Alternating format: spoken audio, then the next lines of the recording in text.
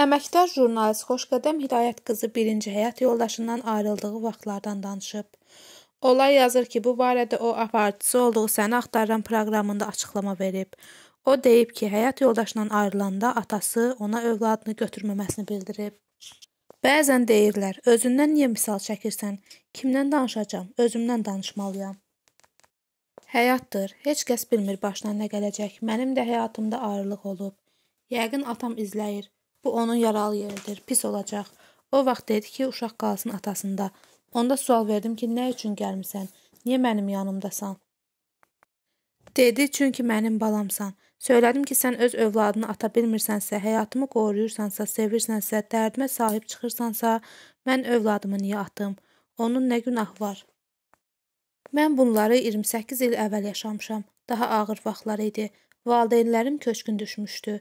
Heç bir işim, yerim, dəstəkçim yox idi. Tort peraşki bişirib mağazaya satırdım.